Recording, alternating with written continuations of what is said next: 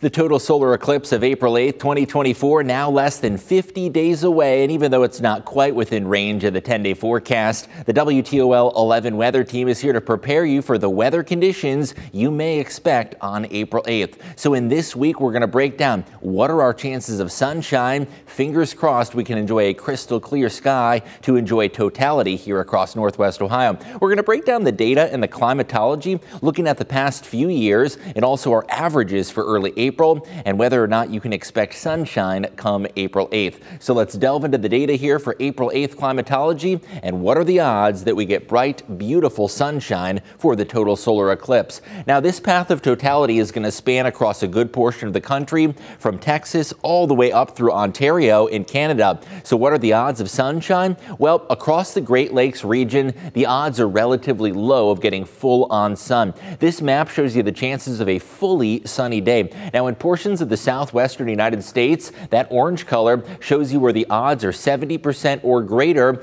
of getting full, brilliant sunshine. And that does include some cities in the path of totality, including Dallas and Austin, where the chances are over 50 to 70% that the sky will be crystal clear and blue. Up towards the Mississippi River Valley, some parts of southern Illinois have about a 30 to 50% chance of sunshine, indicated by that yellow color, where it's about 50 50. Now, across the Midwest and the Great Lakes region, the odds are a little bit more bleak. Those shades of gray across Ohio and Michigan indicate where the chances of full on sunshine are only a 10 to a 30 percent. And you'll notice downwind of the lake towards eastern Ohio, that lighter gray color shows you where the chances are a little bit better and the chances are not quite as good across northwest Ohio. So statistically, the odds of getting a fully sunny day, not necessarily good. However, even if we could just get the sunshine to peek out during the early to mid afternoon hours. That would certainly make for some great viewing for that total solar eclipse.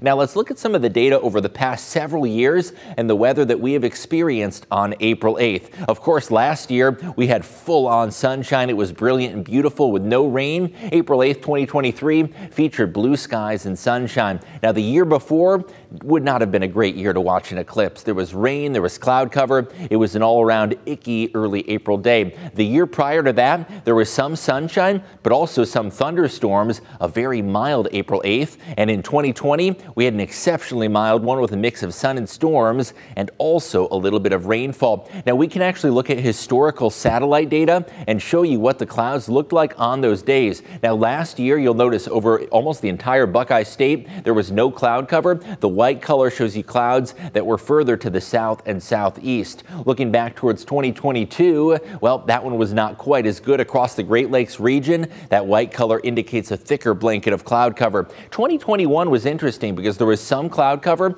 but also a few thunderstorms as well. And the year prior to that, 2020, we had mainly sunny skies, but also a few pop-up thunderstorms that occurred. 2023, full on sunshine. We had fairly pleasant temperatures around 59 degrees, which is par for the course or average for early April. We had those blue, vibrant skies in 2023. The year before, it was cloudy with rain showers. This would not have been a good year to view the total solar eclipse as we had bleak conditions. It was also a little on the cooler side with a high temperature of 51. Even though rainfall only amounted to two hundredths, it was still a dreary and overcast type day.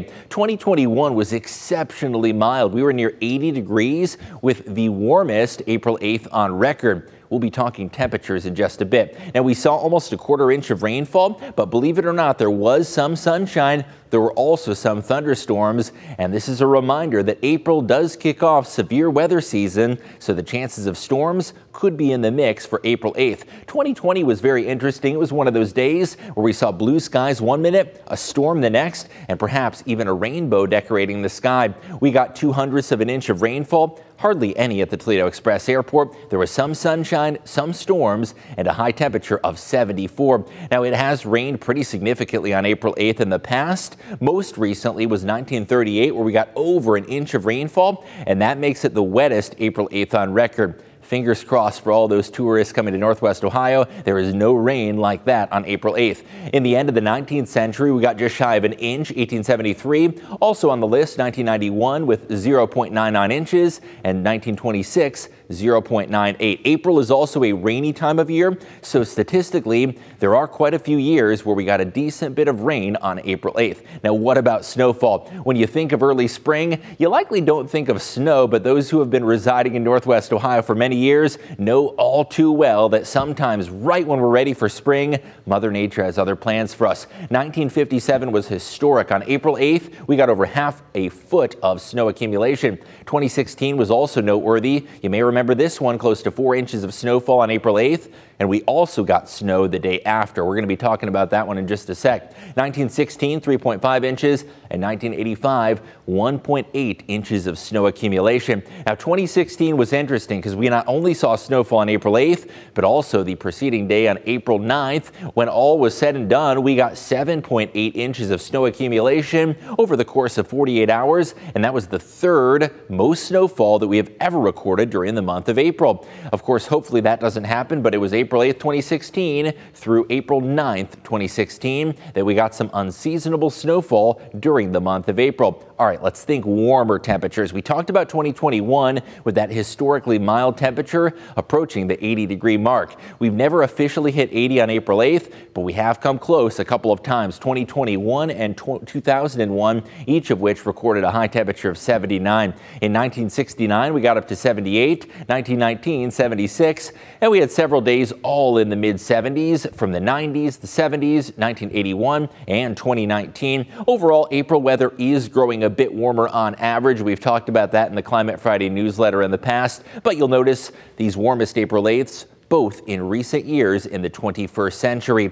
As a whole, the warmest April 8th high is shared between 2001 and 2021, 79 degrees, and the coldest our low temperature has plunged, that was 1982. The mercury sunk to 10 degrees. Now, of course, with the eclipse viewing not being until after 3 p.m. in the afternoon, you don't have to worry about that morning low, but it is a reminder that April can be a cold month, especially with those overnight low temperatures being brisk, chilly, and frigid. Now, it's still too early to talk about what this April 8th will have in store. Statistically speaking, April is a month often filled with cloud cover, but as we saw last year, there was full on sunshine for your April 8th. We had blue skies and temperatures in the upper 50s. As the eclipse draws closer, the WTOL 11 weather team will update you on that forecast and keep you posted. You can subscribe to the Climate Friday newsletter at WTOL.com slash email and also WTOL.com slash solar eclipse. That is going to be your hub as you and the family get ready for the big day on April 8th.